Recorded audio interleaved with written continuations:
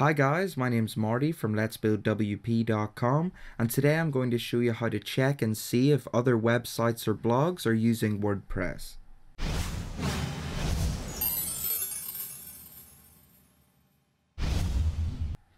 Okay, so to check and see if other websites or blogs are using WordPress, all we need to do is visit a website called isitwp.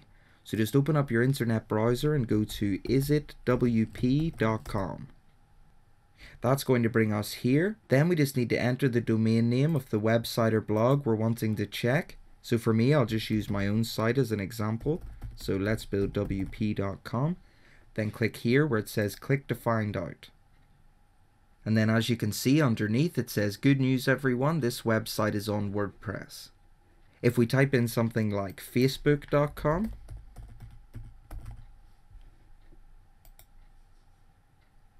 we'll see that it says bad news everyone, this website is not using WordPress.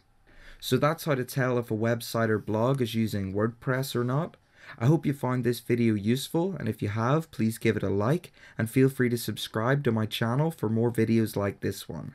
Once again, my name's Martie from letsbuildwp.com and thank you very much for watching my video.